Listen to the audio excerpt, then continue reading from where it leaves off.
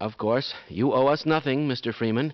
But you've come this far. You know as much about these creatures as anyone.